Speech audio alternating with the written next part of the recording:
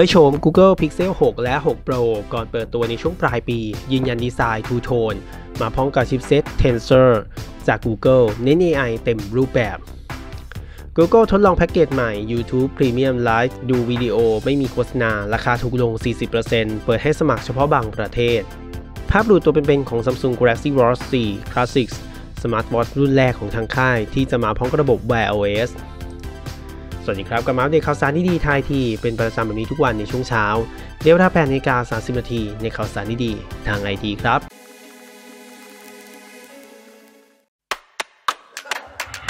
ก่อนช่องข่าวสารนั้นฝากเพื่อนกดถูกใจ กดไลค์ กดแชร์ กด Subscribe ช่องของเราเพื่อจะพาข่าวสารที่มาอัปเดตกันแบบนี้เป็นประจำทุกๆวันนะครับ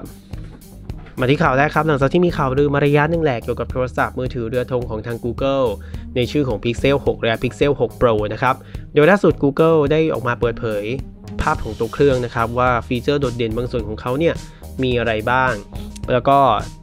ยังไม่มีการกำหนดในเรื่องของวันเปิดตัวสักเท่าไหร่นะครับหากยังจำกันได้นะครับตัว คอนเซปต์ของ Pixel 6 Series นั้นจากข่าวในครั้งก่อนเนี่ยจะมาพร้อมกับดีไซน์แปลกใหม่ ในวันนี้นะครับทาง Google ได้ออกมายืนยันแล้วว่าดีไซน์เช่นนั้นเนี่ยเป็นจริง ในรูปแบบของ Two Tone ครับกับตัวเลือกที่หลากหลายสี และมีกรอบของตัวเครื่องที่ผลิตจากวัสดุประเภทอลูมิเนียมด้วย และยังเปิดเผยอีกว่าตัวชิปเซตที่ใช้นะครับจะเป็น Google Tensor ที่ทาง Google พัฒนาขึ้นมาเองอีกด้วย และจะเป็นเซนเซอร์เดียวนะครับที่ใช้ชิปเซตตัวนี้ โดยเน้นในเรื่องของระบบ AI แล้วก็ Machine Learning รวมถึงจะมีการอัปเกรดด้านของการถ่ายภาพ แล้วก็เซ็นเซอร์การรับภาพที่ใหญ่มากยิ่งขึ้น โดย Pixel 6 Pro นั้นจะมีกล้องหลัง 3 ตัวนะครับ ประกอบไปด้วยเลนส์หลักเป็นเลนส์ wide เลนส์ ultra-wide แล้วก็ telephoto ครับ ที่รองรับการซูมแบบ optical zoom 4 เท่า ด้านรุ่น Pixel 6 นั้นจะใช้งานเป็นกล้องคู่นะครับ ก็จะมีแบบไม่มีเลนส์ telephoto เข้ามานั่นเอง นอกจากนี้คาดการณ์ว่า Pixel 6 Pro นั้นจะมีหน้าจอ 6.7 นิ้วความละเอียด QHD+ refresh rate 120 Hz ตามมาตรฐานนะครับ ส่วนอีกรุ่นหนึ่งก็คือ 6.4 นิ้ว ความละเอียด Full HD Plus รองรับค่า refresh rate 90 Hz สำหรับรุ่นเริ่มต้นนะครับทางนี้นะครับยังไม่มีการระบุถึงกำหนดการเปิดตัวอย่างแท้จริงของ Pixel 6 และ 6 Pro แต่คาดการณ์ว่าจะเปิดตัวในช่วงปลายปีนี้แหละ ซึ่งก็ต้องมาคอยดูกันต่อไปนะครับ ว่าเปิดตัวแล้วเนี่ยจะมีอะไรน่าสนใจเพิ่มเติมมากกว่านี้ไหมนะครับ ต่อมาที่ข่าวหนึ่งครับ Google เริ่มทดลองเปิดให้ผู้ใช้งาน YouTube สามารถสมัครแพ็กเกจ Premium Life ได้แล้วนะครับในบางประเทศ โดยจะมีราคาที่ถูกลงกว่าพรีเมียมปกติราวๆ42%จากเดิม 11.99 ยูโรหรือ 470 บาทเหลือเพียงแค่ 6.99 ยูโรนะครับหรือ 270 บาท สามารถรับชมวิดีโอแบบไม่มีโฆษณาคั่น แต่จะถูกตัดฟีเจอร์บางส่วนออกไปนะครับ เช่น การเล่นวิดีโอในพื้นหลัง หรือว่าดาวน์โหลดวิดีโอเอาไว้ดูแบบออฟไลน์เป็นต้น รายละเอียดเบื้องต้นนะครับของ YouTube Premium Lite สามารถดู YouTube นะครับแล้วก็ดู YouTube Kids แบบไม่มีโฆษณาได้ทุกแพลตฟอร์ม ที่รองรับรวมทั้งดูผ่านแอปพลิเคชัน บนเครื่องเล่นเกมคอนโซลต่างๆ ก็ได้ ไม่รองรับการดูวิดีโอหรือเล่นเพลงในพื้นหลัง ไม่สามารถดาวน์โหลดวิดีโอเอาไว้ดูแบบออฟไลน์ได้ เมื่อพิจารณาแล้วตัว Premium Lite ดูจะเป็นตัวเลือกที่น่าสนใจอยู่พอสมควรนะครับสำหรับใครที่เน้น YouTube เพียงอย่างเดียวเนาะ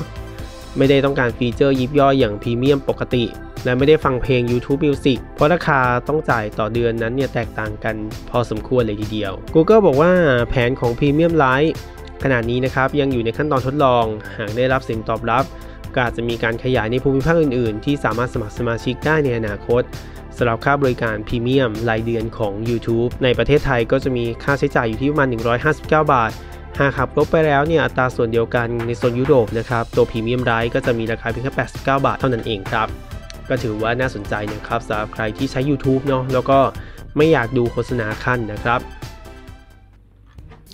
ต่อมาอีกข่าวนึงครับเหลือเวลาอีกไม่กี่วันเท่านั้นนะครับ ก็ถึงงาน Galaxy Unpacked ที่จัดขึ้นในวันที่ 11 สิงหาคมนี้แล้วนะครับ ซึ่งหนึ่งในงานเปิดตัวนั้นเนี่ยก็จะมีตัว Galaxy Watch 4 อีกตัวหนึ่งด้วยที่มีการเปิดตัวนะครับ คาดการว่าจะเปิดตัวในวันเดียวกันนะ เมื่อช่วงเดือนกรกฎาที่ผ่านมานะครับ เราได้เห็นภาพเรนเดอร์ของ Galaxy Watch 4 Classic แล้วนะครับ ไปแล้วรอบนึงแหละ ซึ่งภาพดังกล่าวเนี่ยเห็นถึงนาฬิการุ่นนี้นะครับมาถึง 3 สีไม่ว่าจะเป็นสีขาว สีเทาแล้วก็สีดำ และจะเป็น Smart Watch Wear OS รุ่นแรกของทาง Samsung อีกด้วย หลังจากที่ประกาศจับมือกับ Google เพื่อพัฒนาร่วมกันนะครับใน Google I/O ที่ผ่านมา และสำหรับภาพหลุดล่าสุดนะครับ คราวนี้ก็ไม่ได้มีแค่ภาพเรนเดอร์แล้วแหละ แต่เป็นภาพตัวเครื่องจริงเลยของ Galaxy Watch 4 Classic ออกมาโชว์นะครับหน้าปัดบนระบบ Wear OS แต่น่าเสียดายนะครับที่ยังไม่มีอะไรมากมายนักนะครับเห็นแค่หน้าจอต่างๆ เท่านั้นเอง ส่วนดีไซน์โดยรวมก็เหมือนกับภาพเรนเดอร์ที่หลุดออกมาก่อนหน้านี้เป๊ะๆนะครับไม่ว่าจะเป็นขอบหน้าปัดที่เป็นโลหะที่หมุนได้ รวมถึงการสลับเมนู แล้วก็ปุ่มกดที่เป็นแขนสองข้างอยู่ที่ด้านขวาที่เป็นเม็ดมะยมเนาะนอกจากนี้ยังมีภาพหน้าปัดนะครับโชว์ให้เห็นถึงแอปต่างๆ ภายในตัวเครื่องเล็กน้อยด้วยนะ มีทั้งแบบสีขาวดำที่ติดตั้งมาไว้ด้วยเอาเป็นว่าวันที่ 11 สิงหาคมนี้เราคงจะได้เห็นตัวนาฬิกาอัจฉริยะตัวนี้แบบจริง ๆ จังๆนะครับ ไว้เปิดตัวเมื่อไหร่มาอัปเดตเพิ่มเติมกันอย่างแน่นอน และนี่ครับคือข่าวสารดีๆทั้งหมดที่มาเดตกันในช่วงเช้าวันนี้ ก่อนจากกันไปอย่าลืมกดไลค์เพื่อเป็นกำลังใจให้กันนะ กด subscribe เพื่อติดตามข่าวสารดีๆรีวิวดีๆและคลิปเราต่อไปช่องเรามี Facebook Fanpage แล้วผมทิ้งลิงก์ไว้ใต้คลิปนี้เข้าไปกดไลค์กันด้วยนะสำหรับคลิปนี้ก็ขอตัวลาไปก่อนกับมาเดตข่าวสารดีๆแบบนี้ได้ใหม่ในคลิปหน้า สวัสดีครับบ๊ายบาย